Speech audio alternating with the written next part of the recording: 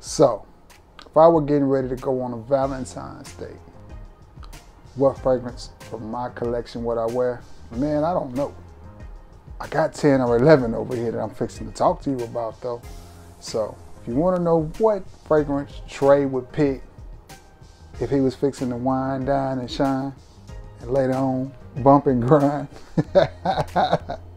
That's corny, I know, but still, it goes with the territory, right? So if you want to know what fragrance from my collection I would pick, meet me on the other side of this intro, y'all, and let's get right into it. I'll see you in just a second.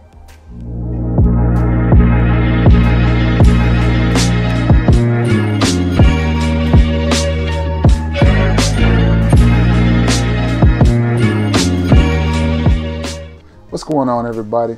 That's right. You guessed it. It is your boy TraScents here. Got a little bit of a review, a little bit of a discussion. Listen, you know how we do it here on the channel. What are we going to talk about today? Well, a few fragrances from my collection that I would definitely pick to wear on my Valentine's Day date if I were going on one. This year, I'm flying solo dolo, and it's fine. Chance to reflect, get to know myself again, fall in love with me. That's important. Self-love and mental health are very important, especially as for us men, and we don't talk about that enough. Brothers, we gotta love each other. We gotta come together and love each other. Now, before I get into this video, as I clean my glasses, you already know, I need a few things from you. I need you to like this video. I need you to share this video.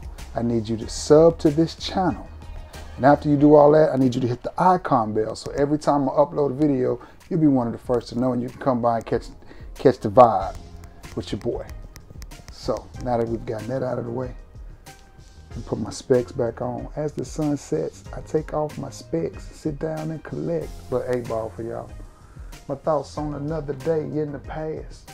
Okay, so y'all ready to get into this? All right, let's get into it. Now these are all fragrances from my collection, designer, because mostly I have a few niche fragrances. Mostly what I have is designer. Some of these are None of these are overly expensive, but these are fragrances that I feel like I would reach for if I were going on a date with the young lady and, uh, you know, I wanted to impress her. You know what I'm saying? Um, if I wanted her to feel you, boy. So, no further ado, let's get right into it. None of these are going to be overly expensive, hard to find. Most of these you can find are at a rack store with the exception of maybe one, maybe two of them. Two of them you're not going to find at a rack store. Most of them are I'll say affordable.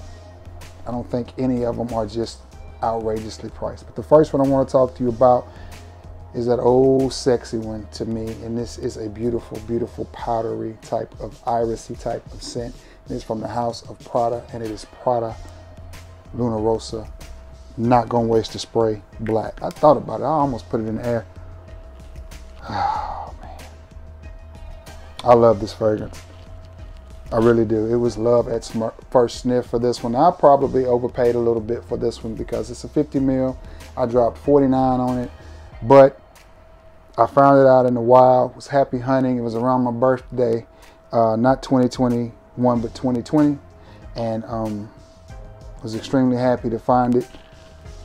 Found it at Burlington. Didn't know it was. I knew it was there. I'd seen other people find it, but I was looking everywhere, couldn't find it, and was like, man, and rested my hand on the uh, display case, and there it was, honestly. The old saying in Alabama, if it had been a snake, it'd bitch. Yeah, kind of that, but perfect date night, nighttime, cooler weather type of fragrance.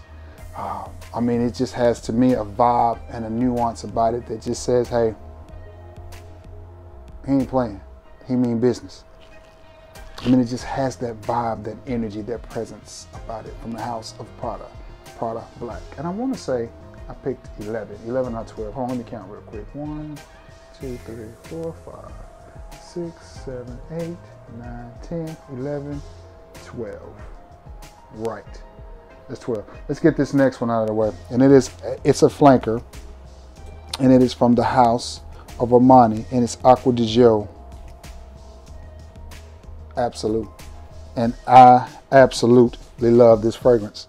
Little wordplay there for you. Why? It's sweet, it's boozy, but it's very low key, very chill, very easy to wear.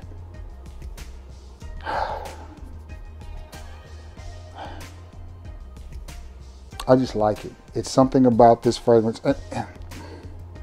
Giorgio Armani, to me, did a really, really good job with the flankers because, to me, in my opinion, this is just my opinion, all of the flankers that they released to di Gio have taken that football, that, that plateau that di Gio made and just ran with it and elevated it. Profondo's good. Profumo's good. Uh, uh, uh, uh, Profondo Lights is good. This one's good. I mean, they're they're all just good, solid releases, and this one is no exception. This one is a little bit, to me, a little bit more playful than um, the Prada Black. It's a little bit more chill. It's a little bit more laid back, but at the same time, it definitely says, "Hey, I mean business." I like it. I like it a lot. From the house of Giorgio Armani, it is Acqua di Gio Absolute. Great little fragrance there. This next one, um, I wasn't sure which one to put in here. It's from the house of Versace and it is a flanker and it is Eros Flame. I wasn't sure whether to put Eros or Flame in here. I think either one of them will do it. Every time I move my hand, that Prada Black is cutting up. I think either one of them will suffice, whether you go with the Flame or the OG Eros. Either way, you're gonna be smelling good. You're gonna be smelling sweet. And the key, guys, is this. Wear these fragrances properly, meaning don't you can't go 15 sprays on everything, Clayton. Every you can't. I, I understand that a lot of guys like to do that. Some of these fragrances are better at four to five sprays than they are at 10 because putting more of it on is not going to help the performance of the fragrance. It's just not. It's just not. On, the only thing it's going to do, especially if it's a powerful fragrance like this one, is choke somebody out. But this is, a good, again, a little bit romantic, a little bit juvenile, a little bit sweet, a little bit playful, very modern, but to me, very sexy, uh, very much indicative of what a date night fragrance should be. and I like it. I'm not sure whether I would go with this one over the Eros. So if you have the, the OG Eros, maybe it's one that you should grab if you don't have this one. This one's good. Oh man. Yeah, I would definitely wear this on a date. Um, it just has that that it factor. And to me, you know, and again, the area that I live in, we don't have a lot of perfume shops. I know there's some in Birmingham and there's some in Memphis. A lot of the people for things like that will go to Nashville and go to the, uh, it's a flea market or something up there they go. But I'm not sure those fragrances are real. But another story for another day. Fragrances like this, believe it or not, here in Alabama fly under the radar unless there's a few subs that happen to watch guys like me, Fat Boy, Cheapo, you know, some of the guys in Alabama that do this are some of the boys with Alabama ties. But nonetheless, this is a sexy, smooth, sweet, slightly romantic, very modern style of date night fragrance. And this is one I would definitely reach for if I were gonna wind down and bump and grind uh, on Val's Day. Good smelling little fragrance. All right, let me go in. No, I'll just keep it going the way I'm going. This next one you can't have a date night list or even consider taking a young lady out to the Sizzler if you're not considering wearing something from this line, at least. And this is from YSL. This is La Nuit de l'Homme. If you're not either La Nuit l'Homme, uh, L'Homme Intense, something, one of those, then, I mean, what are you doing? the new uh, Bleu Electrique, any of those will do fine. But we're talking about what I would pick. So would I pick this one? Yes. This is definitely one I would consider to wear on a date night because it, it's it's sweet. It's a very sweet fragrance. I, and I also try to match my fragrances with my outfit. So depending on what I was going to wear, would also have a factor in what fragrance that I put on. If I was going super duper casual, and of course what I would wear, would be depending on the hoodie which would be, I mean, the hoodie, would be depending on the weather. If I were going with something like a hoodie, uh, because we were going more laid back, chill, say we want to get it in tonight, and we wasn't going to go super dressed up, that we were for real going to go to the Sizzler. I mean, why would I, you know, you know, why would I spray on Prada Black or something like that? I would keep it, you know, chill. So that's why further on down in the list, you don't see more options. But if I were gonna go real dressy, you know, with a nice button up, nice little timepiece, and actually, you know, try to show out a little bit, then I definitely would go with something like this because it just smells good. It smells sophisticated. It smells like a YSL fragrance, meaning it smells, smells expensive. I just like this fragrance. Compliment Magnet, Compliment Monster. YSL's, La Nuit de l'Homme. This next one, again, no stranger to anybody's date night list. But again, if you're gonna go on a date, it's one that you definitely have to consider. I would definitely rock this with a hoodie. Uh, Dolce & Gabbana, the one EDP. Now I'm not sure again which one of these I like better, the EDT or the EDP.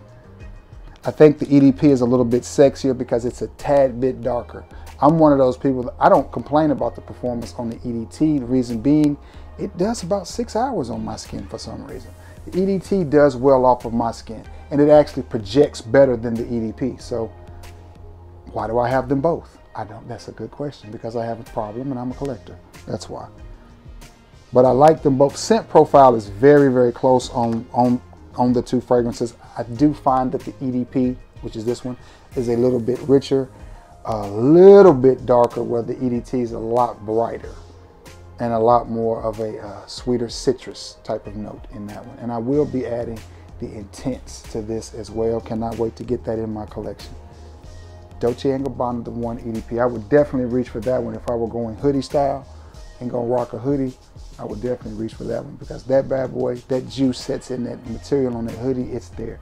It's gonna rock a while. Now, if I wanted to just smell like a man and smell sexy and be confident, which I am a man. I am sexy and I am confident. So I'm gonna reach for this Lalique Lion's Head. Lalique Pour Homme. And this is, I, I want to spray this so bad, but then I don't. Reason being, if I spray this, it's over for everything else I spray out to this because this is going to linger in the room. This is definitely one of those fragrances that you don't need but maybe three to four sprays on. Strategically, maybe one here, maybe wrist, wrist, and then middle of the, of the shirt. Get just a little bit on your shirt so that fragrance lingers. And this is one of those compliment getting sexy, masculine fragrances that people forget about. But I guarantee you, if Raja or Roja, however you say that, or, or Navitus, or some of these niche houses released this very same scent, then people will be clamoring for it and paying hundreds of dollars to get it and talking about what a masterpiece it is. Guys, if you don't have this one in your collection, trust me, listen to me now, believe me later on. This is a four season type of fragrance, winter, summer, spring, or fall. It is masculine, it is sexy, it is clean, it is crisp. If you are a man in your 30s to your coffin, this is one you're gonna need to pick up. And I'm telling you, if you rock this the right way, meaning with your chest out and your back stiff, and you be the confident man that you are wearing this fragrance, I'm telling you guys, I like it. I like it. Lalique Homme, the Lion's Head. This next one is a cheapie, but it is a fragrance that absolutely blew me away when I got it, and it was a birth. Did I get this one birthday?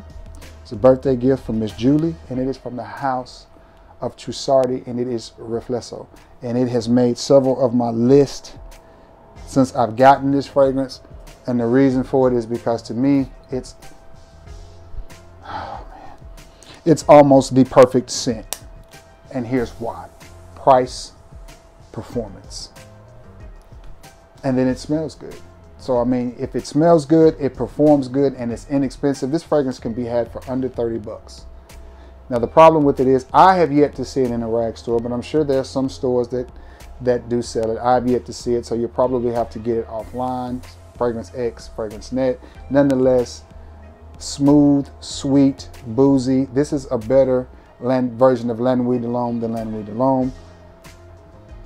I love it. The bottle could be better, but you're not going to walk around with the bottle on your neck like you're the Flavor Flav or Frag Cop, so it doesn't matter. The juice that comes out of this bottle is polarizing. I'm telling you, when I pulled up on JP and Manny and I handed them this and they sprayed it.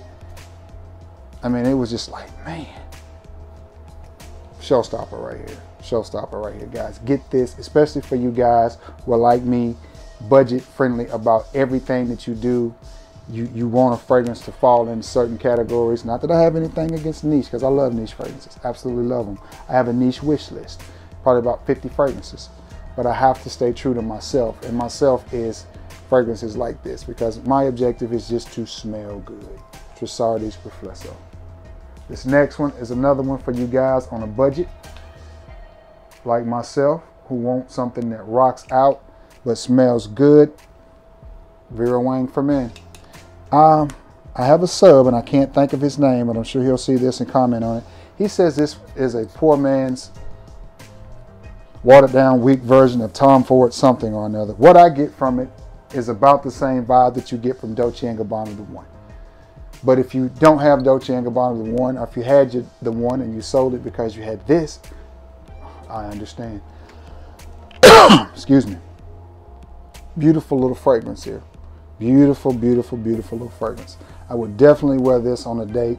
Um, if I were going more low key, more, um, I don't know, say we just going to the Sonic, you know, get us a banana split or something or whatever. If I were going real low key, again, hoodie, I would definitely reach for this. Definitely reach for this.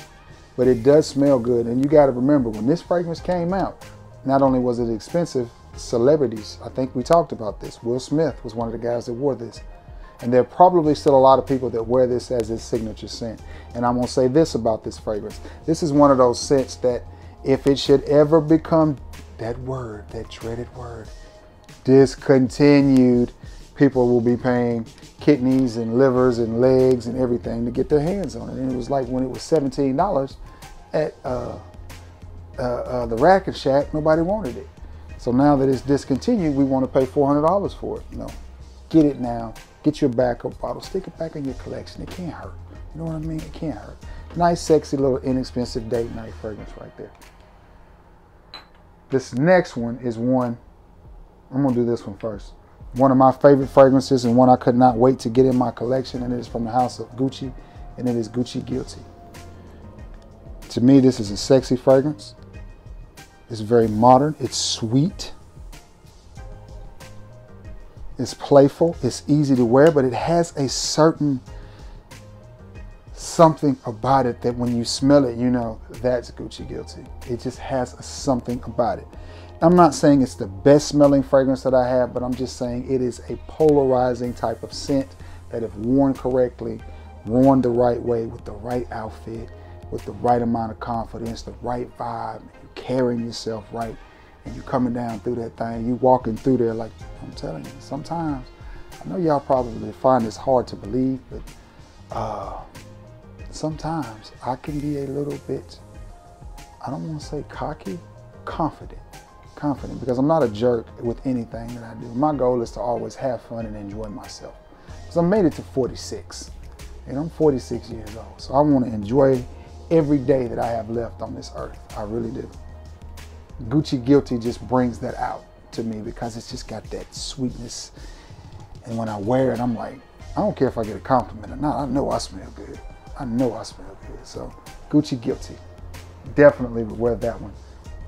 And I think I would stay casual with that one. Maybe polo and a nice Columbia jacket or something, North Face jacket. You know what I mean? Just keep it nice. Nice jeans, nice polo pullover, jeans, some shoes. Just keep it comfortable, casual, but nice and keep it moving. You know what I mean? Now, if I wanted to go just a step up from that one, just a step up from Gucci Guilty, what would I go with? Gucci Guilty Black. Big shout out to the homeboy JP for this one because I was getting ready to leave and he was like, Trey, on the cool, man, hold up. I got something for you, big homie. And he reaches off in his backpack and hands me this. And I'm like, here you go, JP. I mean, here you go, Big Trey, homie, OG. So that's what we have here, Gucci Guilty. Now this one has that same sweetness, that same um, playfulness with a little bit of citrus and a little bit more masculinity. So if I wanted to be a little bit more serious, I would go with this one. I would go with the Gucci Guilty Black. A little bit different direction, but you get the same, same vibe. Now these next two and the last two on the list are definitely two of my favorites and they have grown on me. If I just want to be super powdery and really have my confidence soaring like it ever needs any boost, Valentino Uomo Intense. Love this bottle, love this scent, love everything about this fragrance. Sophisticated, sexy, masculine, powdery, playful. Three seasons, I'll say winter, spring, early summer, or early fall, or I'm sorry, late fall, fall, winter, spring, maybe. Not necessarily a fragrance I would wear in the heat of the summer, even though I did one time wear this on a very hot summer day. I didn't care. I just got it. I want to wear it, so that's what I did. Sexy little date night fragrance right here. Love it, love it a lot. Valentino Uomo Intense. This last one is one that grows on me, and every time I smell it, I find a new nuance to this fragrance that I like even more, and it is from the house of Zaharoff, and it is Zaharoff's signature Pour Homme. Purple represents royalty, and that's what I feel like when I wear this fragrance. I love the purple and gold. Reminds me of those old Hazelwood Golden Bears, who was was a local high school here that managed to win 11 state championships and send numerous players to not only the University of Alabama, but several SEC schools and even to the NFLs. If you're familiar with the Goodes, well, they went to Hazelwood. Before they were stars at Alabama, they were stars at Hazelwood.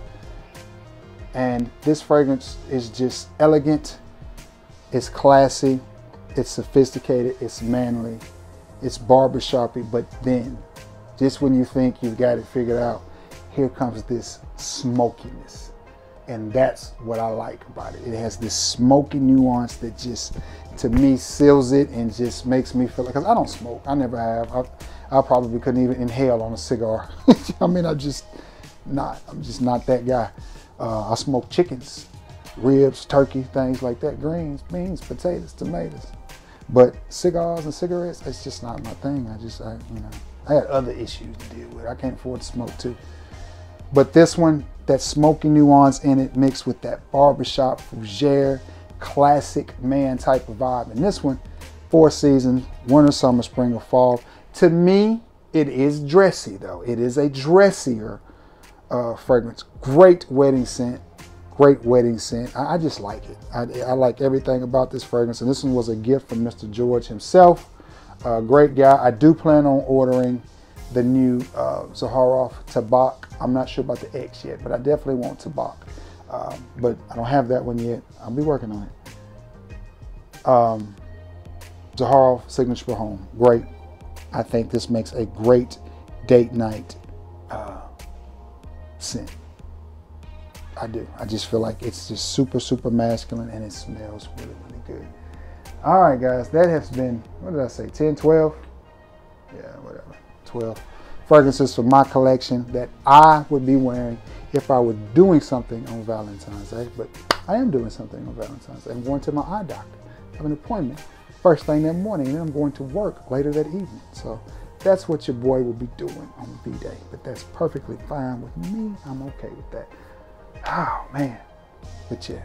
These fragrances are all rock stars and they all smell really, really good. Now, need something from you guys in this comment section. I need to know if you've already went on your date, what did you wear? Or if you're going, what would you wear? Whenever it is, some of y'all are celebrated next week. Some of y'all are celebrated in July. Whenever you celebrate it, let me know what you're to wear. Or if you've got a date, just a casual date, whatever, let me know what you're to wear on your date. Let me know what you're going to do to impress her. You know what I mean? Did I have? Yeah, I did have one Versace fragrance on this. Yeah. So be active in the comment section, guys. And you already know your boy appreciates you so much for returning to the scene of the crime. I appreciate you. So now I got to get off of here, pose for a picture like this. And then I got to edit it, thumbnail it, and get it up so you guys can see it. Also, predictions on this Super Bowl. Who y'all got? Who you who you got? Who you got? I think Joe, Joe Burrow would make a good story, but I just think the Rams are too loaded.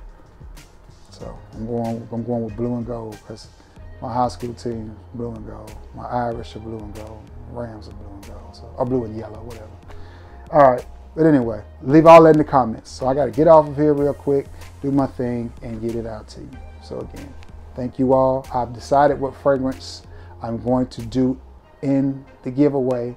Haven't decided all the details about the giveaway yet because I may give away two fragrances. I'll just tell you this the two fragrances I'm leaning towards giving away are Coach Platinum and a 30 ml bottle of um, Polo Red Extreme. That's what I'm leaning towards. So that's going to give, be the giveaway. So we'll probably have two winners. We'll probably have a first place winner and then a second place winner. Or it won't be a first place or second place because all of you are winners in my book, but that's what I'm going to do. I'm going to draw twice. I'm not sure when I'm going to do it yet. So, you know, we'll get we'll get all that worked out in the next week or two. But pretty sure that's what I'm going to do. One bottle of Coach Platinum, one bottle of um, Polo Red Extreme. So, how about that? So, y'all ready for this giveaway? for reaching 2K?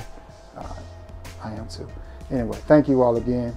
God bless you all, and I love you all. And until next time, guys, peace.